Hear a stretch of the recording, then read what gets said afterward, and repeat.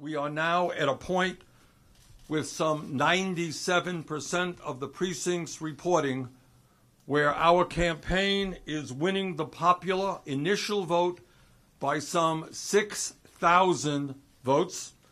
In other words, some 6,000 more Iowans came out on caucus night to support our candidacy than the candidacy of anyone else. And when 6,000 more people come out for you in an election uh, than your nearest opponent, uh, we here in northern New England call that a victory.